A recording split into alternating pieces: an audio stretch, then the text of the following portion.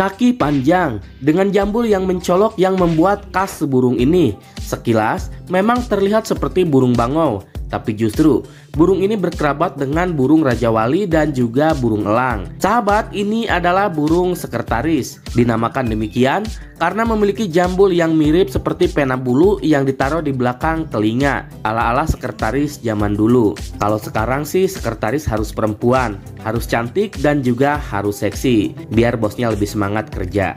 Burung ini memang terlihat santai dan hanya berjalan menelusuri padang rumput tentu saja untuk mencari makanan dan makanan kesukaannya adalah berupa serangga dan juga reptil.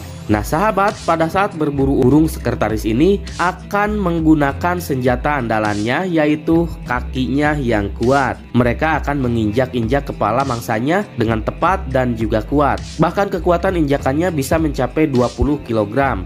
Itu artinya 5 kali lipat dari berat tubuhnya yang hanya 4 kg saja.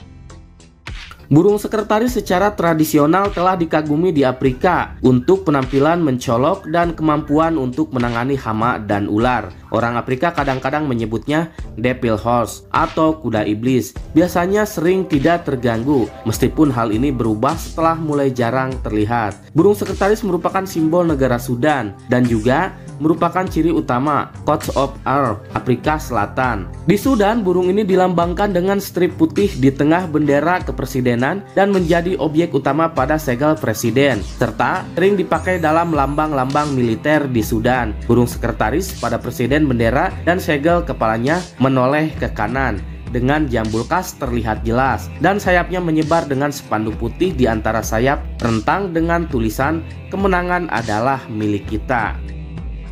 Burung sekretaris juga telah umum menjadi motif pada perangko negara-negara Afrika. Terdapat lebih dari 65 perangko dari sekitar 30 negara, termasuk beberapa negara atau organisasi penerbit perangko seperti Ajman, Manama, Malipes, dan Perserikatan Bangsa-Bangsa, di mana burung itu pernah dijumpai.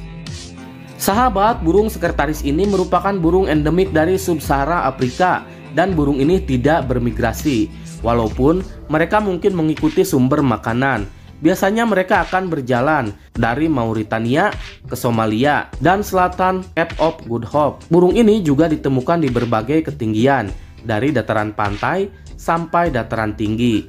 Burung sekretaris hidup terbuka di padang rumput sabana dari hutan dan dapat ditemukan di semak-semak.